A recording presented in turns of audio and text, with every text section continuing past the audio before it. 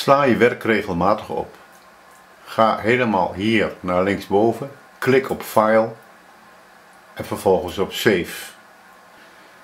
Typ bij bestandsnaam je naam